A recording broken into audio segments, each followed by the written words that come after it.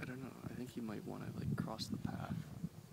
Cause like there's a fence there. He mm-hmm. can't get past. Watch out for the fence. Yeah, he's like weighing his options. Oh, I feel kind of bad. Maybe we should just go back. Let's just back up and see.